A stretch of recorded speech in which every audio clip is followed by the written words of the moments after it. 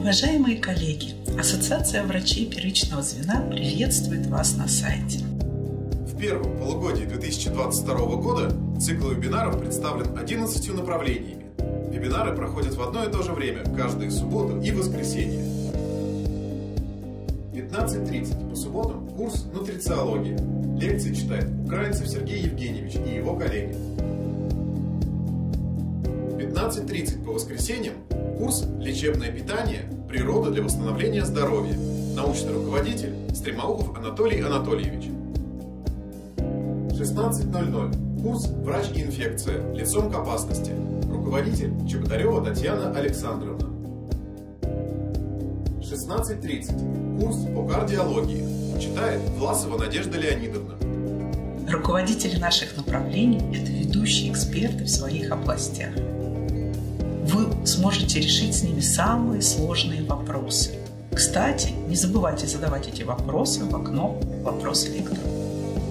17.00. Курс «Актуальные вопросы от ориноларингологии». Ведут Валерий Михайлович Свистушкин и Галина Николаевна Никифорова. 17.30. Курс «Актуальные вопросы неонатологии». Читают Андрей Леонидович Заплатников и доцент Дементьев Александр Анатольевич.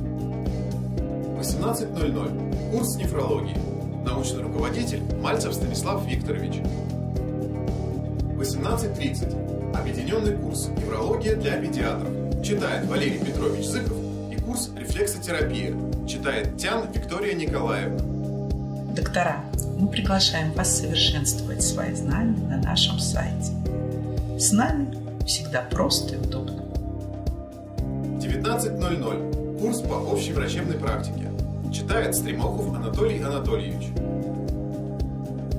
19.30. Курс «Избранные вопросы эндоскопической урологии». Читают Шатохин Максим Николаевич и Борисенко Геннадий Георгиевич. 20.00 по воскресеньям. Курс «Живые легенды». Уникальные интервью с корифеями медицины. Также приглашаем вас присоединиться к вебинарам нашего традиционного партнера – Ассоциации педиатров на сайте www.edudefиспediatrics.com Научный руководитель Ирина Николаевна Захарова. Присоединяйтесь к вебинарам выходного дня по интересующим вас специальностям. Регистрация доступна на сайте www.edudefисserano.ru До встречи в выходные!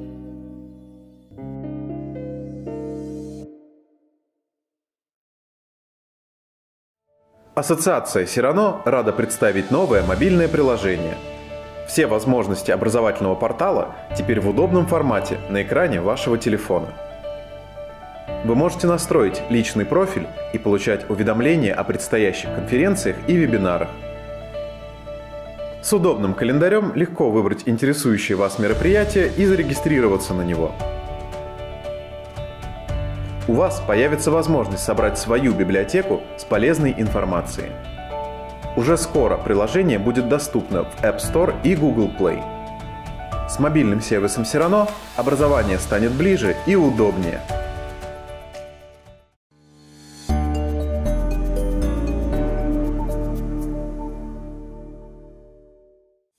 Что такое Сирано? Сирано – это удобная и бесплатная онлайн-площадка для получения дополнительного профессионального образования в области медицины. У нас вы найдете сотни вебинаров, модулей и конференций по более чем 30 специальностям. И все это на экране вашего ноутбука или смартфона в любое подходящее для вас время.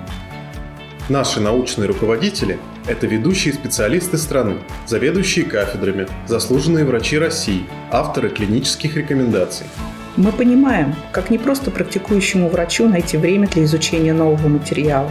Наша команда делает все, чтобы приобретать актуальные знания было удобно и просто. Мы верим, что дополнительное медицинское образование должно быть современным и доступным. Спасибо, что вы с нами. Ваш Сирано.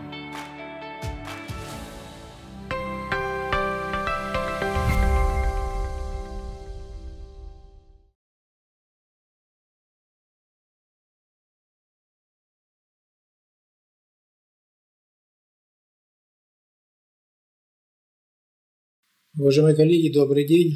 Мы разберем применение мануальной терапии при некоторых заболеваниях. Показания очень широкие для мануальной терапии.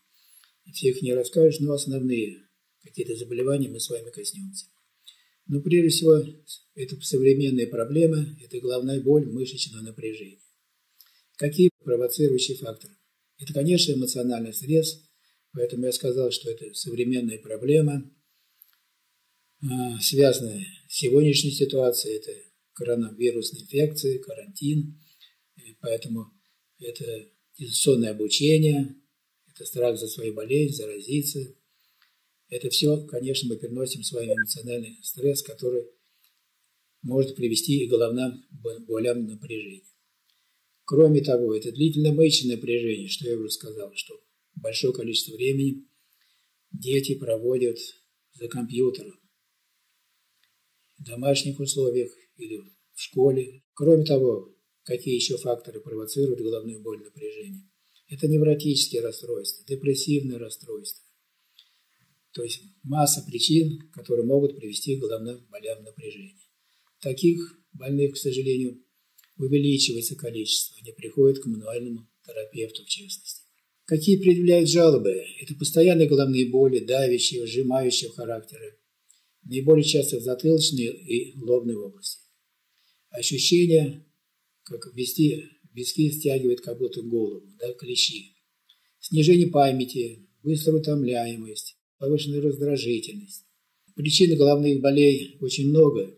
С чем надо дифференцировать головные боли напряжения? Это, конечно, с мигренью, кластерной головной болью, пароксизмальной гемикронией и другими заболеваниями. Конечно, безусловно, в наше время это уже аксиома такая, надо обязательно проводить див-диагностику. Конечно, здесь неврологическое обследование прежде всего, нейропсихологическое обследование и другие методы. Это КТ, МРТ головного мозга. Конечно, рентгенография шейного отдела позвоночника – и проведения мануальной диагностики. Если требуется и другие методы лечения привлекать для постановки диагноза и проведения диагностики. У этих больных при нейропсихическом, психологическом обследовании установлены эмоционально-личностные расстройства. Они отмечают апатию, депрессию, эмоциональная лобильность у них наблюдается, снижение познавательной активности. При проведении мануальной диагностики у всех больных были выявлены в разной степени выраженности болевой и мышечно-тонический синдром, что сопровождалось ограничением активных и пассивных движений в шейном отделе позвоночника. Болезненный смесь прикрепления шейных мышц к затылочной кости, наличие функциональных и органических блоков на разных уровнях шейного отдела позвоночника что касается мануальной диагностики, которая подтверждает, что здесь головная боль мышечного напряжения. Поэтому таким больным, конечно, безусловно, мы можем помочь в комплексном лечении, применяя и мануальную диагностику. При мануальной терапии применяют приемы мобилизации этих мышц шейного отдела позвоночника и биодинамическую коррекцию. Курс лечения, как правило, составляет 8-10 сеансов лучше проводить каждый день. В некоторых случаях, если нет возможности больного или в каких-то силу каких-то других причин, можно через день. Но, как правило, в течение 10 сеансов удается добиться положительного эффекта. Что очень важно при головных болях напряжения. Лечение может проводить и должен проводить первоначально. Это мануальный терапевт, применяя, как правило, наиболее частые приемы мобилизации. Сюда входит и повторяющаяся мобилизация, постизометрическая, антигравитационная. Ну, и что очень важно для мануального терапевта, для больного, он должен научить больного при этим при некоторым приемам, мобилизационным приемам мануальной терапии. Так называемая аутомобилизация. То есть после проведения курса лечения вы должны рекомендовать, и мы рекомендуем больным проводить определенные упражнения, используя приемы мануальной терапии, и в частности аутомобилизации. И тогда больной, если делает, будет проводить регулярно, а вы ему говорите, какая частота, а иногда же во время рабочего дня, да, то, как правило, результат лечения продлевается довольно-таки долго. При необходимости можно повторять прием мануальной терапии То есть он может к вам приходить, ну, обычно хорошо, конечно, ну, 3-4 раза в год. При необходимости можно чаще или реже. Все зависит от результата вашего лечения. После проведения курса лечения, как правило, больные отмечают положительную клиническую динамику. Это уменьшение или прекращение цефалгического синдрома, увеличение объема активных и пассивных движений в шейном отделе позвоночника. И регрессировала и другая симптоматика, как правило. Улучшалось настроение больных, увеличилась двигательная и эмоциональная активность. Очень важно, чтобы этих больных отпускались с рекомендациями. И, конечно, здесь уже, наверное, может быть, на каком-то законодательном уровне, безусловно, надо вспоминать опыт советского времени, когда проводилось на рабочем месте занятие физкультуры. Проводилась такая всесоюзная такая акция. На протяжении 15 минут проводилась гимнастика. Это надо рекомендовать и в школах у детей. Потому что постоянное длительное напряжение, она приводит к появлению головных болей напряжения. Оно отмечается как у детей, так и у взрослых. Наиболее часто так называемых у белых воротничков, которые целый день сидят у компьютеров. При каком заболевании у детей используется с успехом еще мануальная терапия? Конечно, это детский церебральный паралич. Частота встречаемости тоже, к сожалению, не уменьшается. Что такое детский церебральный паралич? Какая его этиология? Это полиэтиологические заболевания. И оно занимает первое место среди последствий перинатального поражения центральной нервной системы. Причины заболевания могут быть на любом этапе беременности, родов, периода новорожденности, внутриутробная инфекция может быть, последствия травмы, нарушение церебрального спинального кровообращения, групповая несовместимость крови матери и плода, резонанс конфликт и другие факторы, которые могут приводить к развитию детского церебрального паралича. Из чего надо исходить? Опять же, с аксиомы. Надо прежде всего поставить диагноз.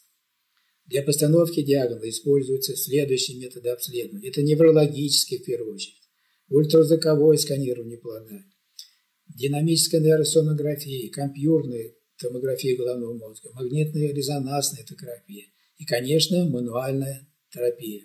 С помощью этих методов можно точно прогнозировать не только само заболевание, но и отдельные его формы. Что было выявлено? Были выявлены при этих изменениях атрофические изменения головного мозга, множественный кислый, двухсторонняя порэнцефалия, поражение подкорковых образований, мозжечка. Кроме изменений центральной нервной системы имеются патологии нервно-мышечного аппарата. Нервные волокна слабые или вообще не миелинизированы. Отмечаются дегенеративные изменения. Все это, безусловно, конечно, надо использовать и знать тоже иммунуальная терапия. Какие формы в настоящее время классификации детского церебрального паралича? Они давно, классификация давно, которая разработана знаменитыми нашими неврологами Подоляной, Левона Ганесовичем, Семеновой Ксенией Александровной, выделяет следующие формы. Это спастическая диплегия, двойная гемиплегия, гиперкинетическая форма, астоническая астатическая форма и гемипаретическая. То есть видите, как много форм заболевания. Может быть, я не буду останавливаться так более подробно на этих клинических формах. Даю, скажу общую информацию. При всех формах показана мануальная терапия. Но наиболее положительный эффект от мануальной терапии это будет показано, конечно, при спастической диплегии.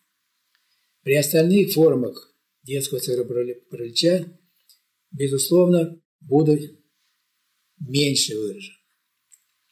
Но самое главное, надо учитывать противопоказания, о котором я скажу позже. Детский церебральный паралич, безусловно, здесь роль какая иммунальная терапия? Она должна входить в комплекс лечения. Современный комплекс восстановительного лечения данной патологии включает в себе, конечно, медикаментозную терапию, ортопедические методы, ЛФК, мануальная терапия, хирургические методы. Какое сочетание лучше? Очень хорошо сочетается мануальная терапия с рефлексотерапией у детей с детским церебральным параличом, с массажем, с ЛФК, физиотерапевтическими методами. Но может применяться как самостоятельно, то есть это вы решаете каждый раз индивидуально. Как я уже сказал, при всех формах показана мануальная терапия, наиболее эффективна при спастической диплегии. Но в некоторых случаях мануальная терапия будет являться и противопоказанием. Когда будет являться противопоказанием абсолютно? Это нарушение психики, это олигофрения в степени тяжелой дебильности, имбецильность, идиотия. И что очень важно, в клинике детского церебролича часто встречается судорожный синдром или эпилепсия. То в этом случае мануальная терапия абсолютно противопоказана. Может быть, в редких случаях это индивидуальная непереносимость. То есть главное выявить, имеются ли противопоказания. При всех остальных формах вы можете применять, получая, конечно, разную степень положительного эффекта от используемых методов. Какой принцип? Конечно, мануальная терапия должна применяться в самые ранние сроки заболевания. Как только поставлен диагноз, угрожаемый по детскому церебральному параличу. Какое еще правило? Это уже из чисто своего практического опыта. Лечение должно быть комплексным и в течение полутора-двух лет непрерывным. Наибольшего положительного клинического эффекта удается добиться в течение первых двух-трех лет. В этот период мозг ребенка обладает наибольшей нейропластичностью и пока не сформирован патологический двигательный стереотип.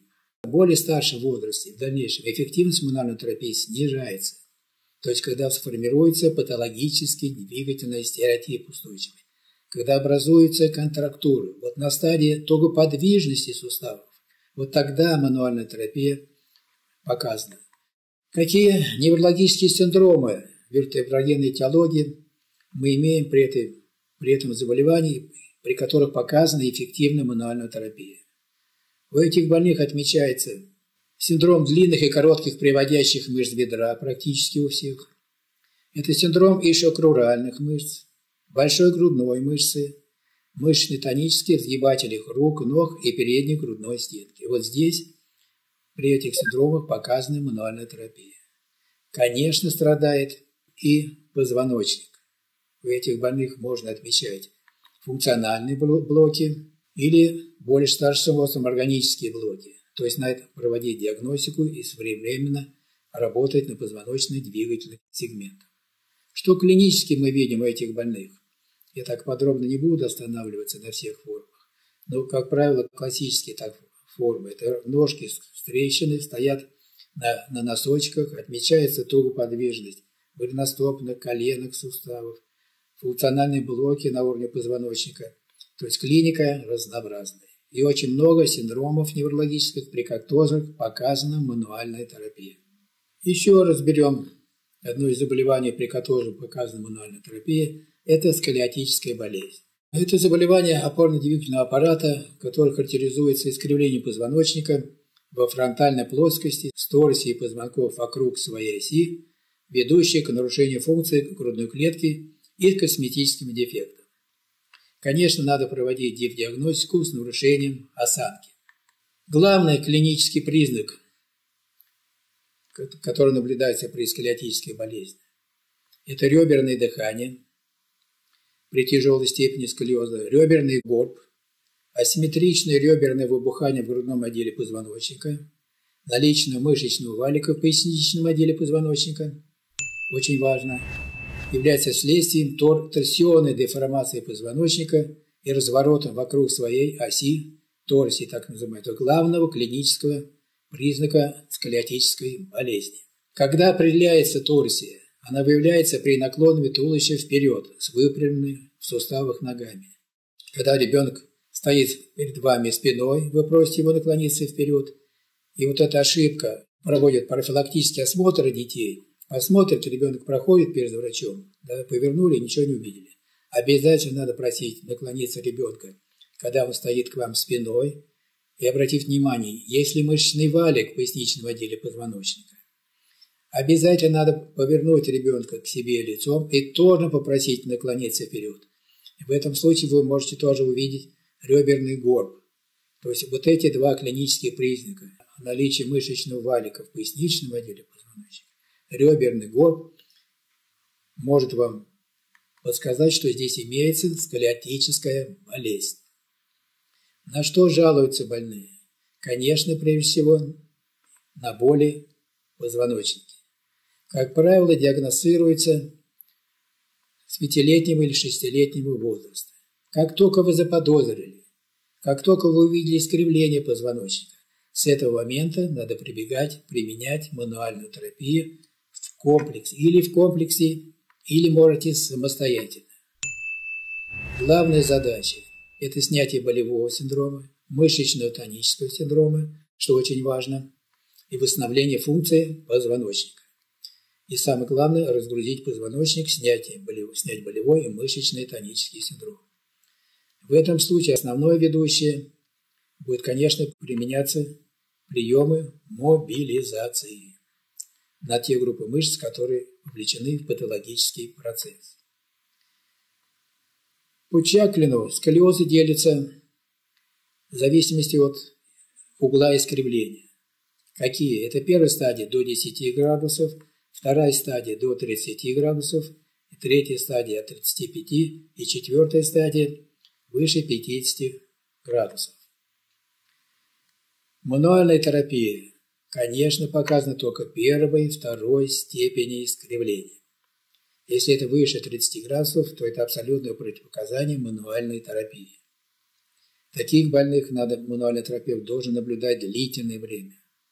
Особенно часто встречается в пубертатном возрасте, когда идет интенсивное искривление позвоночника, деформация позвоночника, усиливается болевой синдром. К сожалению, э, Чаклин пишет, что если диагноз поставлен в возрасте до 5 лет, то деформация у детей наблюдается в 70% случаев. Если более старшем возрасте, например, до 10, то 58% случаев. А если старше 10 лет, то 40. То есть, видите, чем раньше дебютирует дебют заболевания, тем больше выражены деформации. Поэтому вы должны взять этих больных на диспансерный учет. Можете мануальную терапию проводить самостоятельно или в комплексе.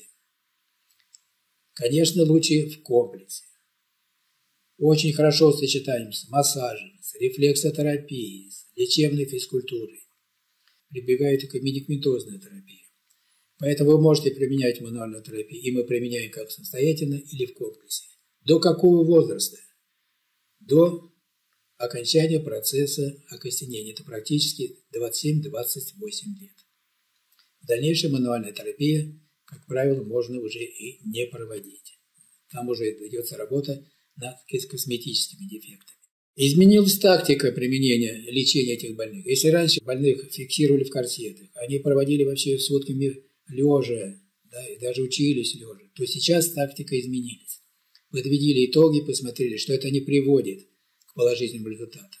Сейчас от этого отказались, от корсетирования, а прибегают, наоборот, рекомендуют заниматься водными процедурами, лечебной физкультурой, танцами, конечно, в пределах разумного.